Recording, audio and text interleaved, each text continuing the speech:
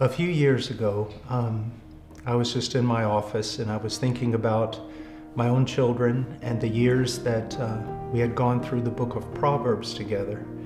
And um, I got in front of my computer and I turned it on and I decided, well, I'll just film a short teaching on Proverbs, maybe for some of the, the children of the families that support HeartCry. Well, one session turned into another, and I think that in about four chapters, we have something like 80 sermons.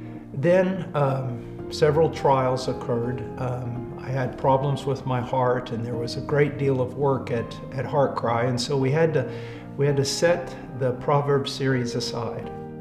But during that time, I've had so many people either write us or come up to me at conferences and say, Brother Paul, um, our family, our children, they love the, the teaching on the book of Proverbs, and it's been such a blessing, and we wish that you would continue.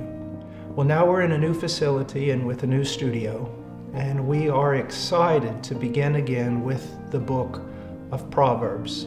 We've already filmed a few teachings out of chapter 5, and we hope to continue until the end of the book.